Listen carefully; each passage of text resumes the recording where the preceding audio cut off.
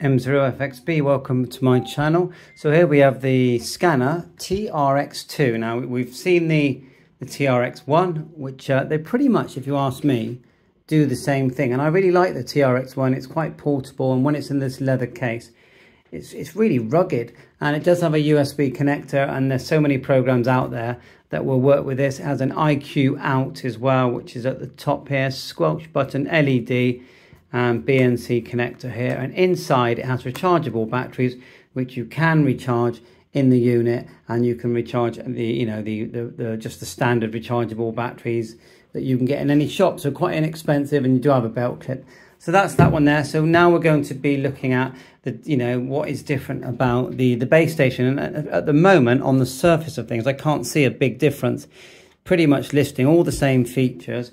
It's the, it's the same screen it just maybe a little bit wider. You've got the keypad, same selection buttons, same micro USB, headphone jack there, on off, and then uh, volume squelch. So overall, I think it, it, looks like the same unit, just in a in a base station style box, and it's all listed here. The type of uh, DMR, tier two. You've got MotoTRBO, EDACS. You know, it covers so many bands and has many many you know frequency steps and see if we can see the bands listed here.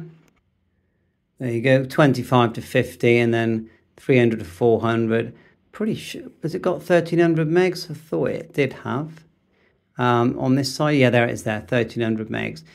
Ham band, air band, military band, marine band, you know, and on and on and on, government band, VHF, UHF, all kinds of stuff. It doesn't cover HF radio bands. So let's, uh, even though this is a, a used unit, it's hardly ever been used. I think it came out, the, it's been out of the box for testing, and then know the owner, the the, the you know the, the seller who sold it to me, uh, just said he didn't get on with it, and so here it is, and uh, at uh, you know not a reduced price, a bit less than what you would pay if it was if it was brand brand new. So let's just get it out of the box and and, and see what's in here. So straight away we've got the some headphones here. I didn't know I had headphones, and instruction manual. And in there we should be getting the mounting bracket, the AC adapter, USB cable, micro USB and antenna. Uh, they, they always come very well packaged, these items, don't they? So just let everything fall out of the box. Okay, everything's out of the box. And you know that the head unit on these does actually come off. Now the power supply, let's have a look with my rubbish. Eyesight is half an amp and then it says they only have 13.8 volts. So yeah I've got many of them lying around. And look you get the RJ45 for separating the head unit which would probably be a good thing. I think put, we will put it on the the bracket. We'll just unscrew these things and get it on the bracket a second. And there are some nice rubber mounts there as well. Just show you that the head unit comes off just here, see? Just push it like that and then it comes off. I, I do think that that is a nice thing that it does that because sometimes, you know, you just want to just grab it in your hand and just program it. But yeah, it's still got the, dim it down a bit. Still got the the sticker over the screen. There's your button. So the buttons are know, very, very similar. Menu, WX, I'd say they're the same. If anything, the keypad and the buttons on the actual handheld are bigger. And the screen, I would say, is the same. So you're getting a base unit, but really, if you've got the handheld, you don't really need the base unit, if you ask me. But, I mean, base units are nice, of course they are. So let's just get it together. Okay, yeah, it looks nice in that. On-off button here like so. Now there's a little bracket here. I think that's a mounting bracket for the head unit. So that's there. And then uh, we've got adapters as well for, you know, different parts of the world for the adapt going with the mains power supply. So let's get our BNC on there. So we'll turn it around, like I see, micro USB at the front. So that's the same cable that you would use for programming the you know, the, the scanner using the software. So let's just turn it round like so and look on the back. 13 volt DC goes in there. Speaker BNC let's grab the uh, so we'll get the power we'll get the BNC on there now.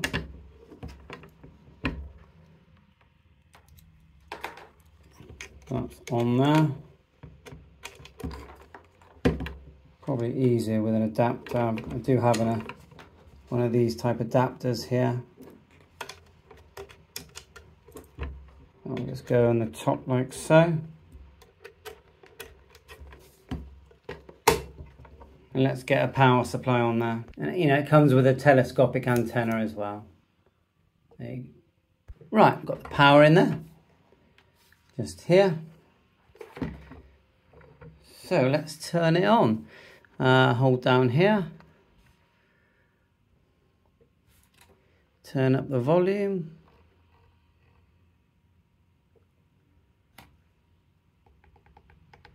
hold it down again I know that they are. Because you, you know, these, when they're off, they still can be programmed. If anything, they actually program better.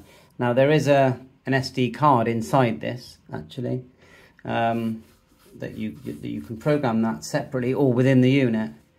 So yeah, it's a nice looking scanner. You know, I'm quite pleased about the way it looks on my desk. Um, you know, I've got the the handheld. It's got it's a different appeal, although they are similar, of course. Um, the handheld, you know, you just go sit in your front room and you know that you can communicate with these wirelessly if you use soft, certain software. so that one's just loading up with all these different frequencies that have been preset in there. And there's, you know, there's that one loading up as well. Quite a bright screen here. I'm sure we can change the brightness. Quite bright on the Just letting it boot. It does it can take a while. And the way to stop it booting so much is just when you're in the software, you can do it on the unit. It's just to de deselect uh, many, many items. That's what I would do. Yeah, so it started scanning and straight away we started picking things up. The You can tell that the the uh, the backlight is, is set to go off. So I'll turn that on. You just go menu, go down to, pretty sure it's program, then program menu. Just got to remember myself. I'll find it now. Okay, I'm just watching my video on, on the um, on the TRX1. It's global settings. Go down to, and the buttons feel very nice and quite rubbery. Global settings, that's what you want. And you got the back button as well, which is the menu. We are going to find this. Program menu. Global settings. Then you go down. You're looking, but it says light. It's spelled L-I-T-E, and we're in the UK. We don't spell it that way. There is a light mode. Key. You got that key. Just you got the contrast there as well and beep volume. So light mode. Well, it wouldn't have battery, will it? So I'll just say go to key and then on there you are and back out completely oh we didn't select save it you got to save it on then when you back out you got to go say select for to save and that's it the, the lights will stay on and you back out completely and then it'll go into if you're in scan it'll go into scan just press um, select and it just starts to scan everything yeah there's quite a lot in here so that's it for now. I think we'll get it on the computer and uh, do some software programming. Got an Ethernet there as well, so it means you can control it wirelessly, I guess, with the uh, with the right settings. I wonder if you can program it wirelessly as well. And if you want to take the head unit off, best to turn it off first push that, comes off. There's your S, you know, your SD card, which you can put in your PC. Yeah, these. Remember I said about a magnetic bracket. There you go. And um, so I think it's it's got the uh, the the original cover on, but it makes the screen look a bit misty. I think I'd rather not have it on. See, it's just bubbling up there. But it's good though because it means underneath it all it'll be like new. Oops. Like so, there is a button. Let's do that again. Put it in like so, and then clip. And again, it shows you the time, but then you still got to turn it on. And it, then it boots up like that. It's got a nice sound to the speaker as well. Actually, I'll just show you some manual dial before we end the video, because that's always fun. Right, scanning. So let me remember, you go menu, then go down to search. Select, then go down to tune mode. Select, then type in. So we'll go type in something like my, my node 434.550 and then select. He's putting out a there you go. Signaled in MB7ISV. So you're better off to listen. Oh, so have you got the squelch here? Um, so you can Push it again. put up a split frequency like that. Um, but, you know, uh, it's because of the IST, the gateway, is only running about one watt Uh, out. I'll turn on the my other one. I'll show you the difference in the audio. The TRX1. Okay, so we're turned down completely the two, and then we'll turn up the the one. So it is a you know a, a sharper speaker.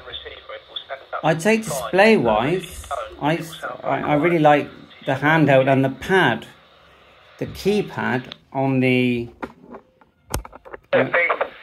on the handheld is really good. This needs to be brighter. I think. See if I can find a brightness setting.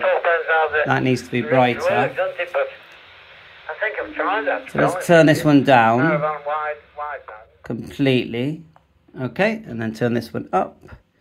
Um,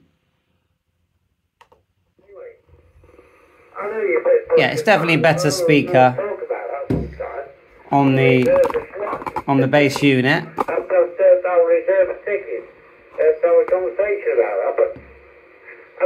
Let's try and get some DMR. Right, just got my uh, openSPOT on there.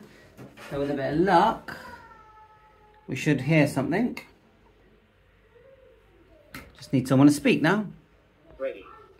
Did you hear that? I love these openSPOT twos. I mean, a lot of people have got the three and the four. What I love about the two,